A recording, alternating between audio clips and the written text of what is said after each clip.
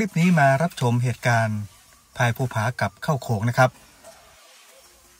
นี่ครับกำลังหยอกล้อน้องอย่างสนุกสนานครับ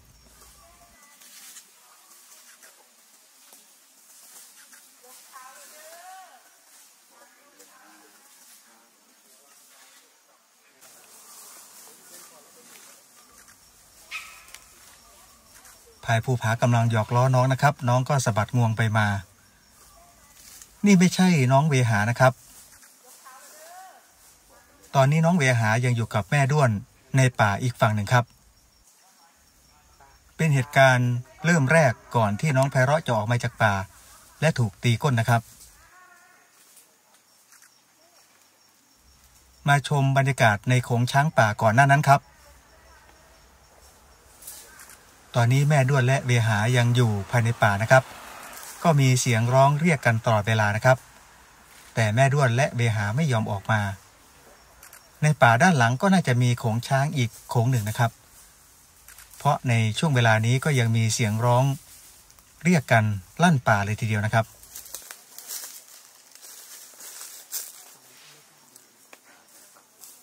อยู่ฝั่งโน้นนะขายไม่ได้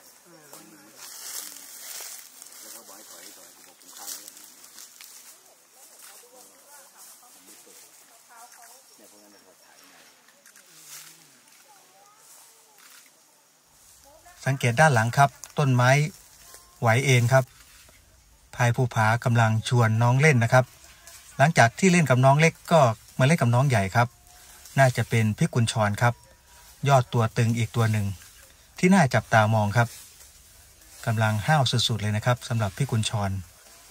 วิ่งไล่รถเจ้าหน้าที่นี่ฝุ่นกระจายเลยนะครับ นี่ครับกำลังหยอกล้อเล่นกันอย่างสนุกสนานครับ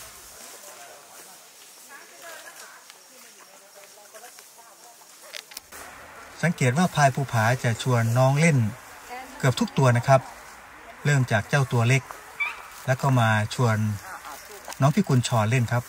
หลังจากนั้นก็มาชวนแม่พังแหละครับ นี่ครับ มาหยอกแม่พังนะครับพายภูผาเป็นช้างที่กระตันยูมากเลยนะครับ อยู่กับแม่ด้วนนี่รักแม่ด้วนมากครับ นี่ครับแสดงความรักและก็หยอกล้อครับทำให้แม่พังนี่มีความสุขอย่างมากเลยนะครับ นี่คือเสน่ห์ของตัวตึงพายภูผานะครับ อยู่ต่างโขงเป็นผู้นำนะครับ อยู่ตัวเดียวก็เป็นผู้นำอยู่ในโขงนี้ แสดงความรักต่อ ทุกตัวนะครับที่แอดมินเห็นนะครับ และก็ที่สำคัญเป็นลูกกระตัญญูอย่างมากเลยนะครับนอยรถแป๊บหลังจากนั้นพายภูผาก็เดินเล่นครับ แต่ก็ยังหยอกตัวนู้นหยอกตัวนี้อยู่นะครับ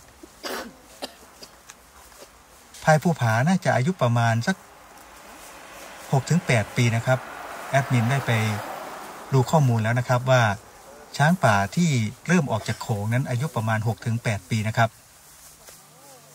และในข้อมูลที่ตรวจค้นดูนะครับ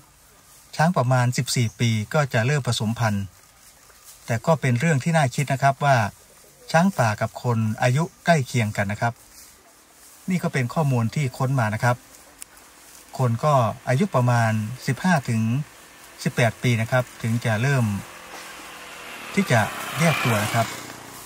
ก็ทำให้เข้าใจได้อย่างนั้นเหมือนกันว่าภายภูผาน่าจะประมาณอายุ 17 ปี แต่ว่าจากข้อมูลก็คืออายุ 6-8 ปีเท่านั้นนะครับ ที่ต้องเริ่มออกจากโขงนะครับ แต่ข้อมูลนี้ไม่ยืนยันนะครับ เพราะแอดมินก็ไม่รู้ว่าภูผาเกิดตอนไหนนะครับ ขึ้นมาเที่ยวที่อุทยานแห่งชาติเขาใหญ่ก็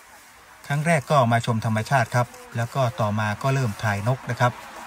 ชอบถ่ายนกครับ เป้าเป็นทั้งวันเลยนะครับ ต่อมาก็มาถ่ายช้างก็เห็นพายงาทองนี่แหละครับ ก็ติดตามพฤติกรรมของช้างป่า มาตั้งแต่ตอนนั้นนะครับ แล้วก็ทำคลิปเป็นลักษณะกึ่งสารคดีเพื่อบันทึกเรื่องราวต่างๆไว้ เพราะเขียนว่าในอนาคต อาจจะไม่มีเหตุการณ์แบบนี้นะครับอ่าไม่ได้ค่ะเดี๋ยวไม่ให้เป็นเรื่องราวความรักระหว่างมนุษย์กับสัตว์ป่าครับ ซึ่งไม่ใช่หาดูได้ง่าย ๆนะครับ และคิดว่าคลิปแบบนี้ในอนาคตก็จะเป็นประโยชน์ครับ อย่างน้อยช่วงระยะเวลาหนึ่งสัตว์ป่ากับมนุษย์ ก็ไม่ได้ทำร้ายกัน เป็นตัวนะเป็นภาพที่สวยงามที่สุดเหมือนภูผาตอนนี้ ที่กำลังหยอกล้อช้างป่าอยู่ในโขงอย่างมีความสุขครับข้างหลัง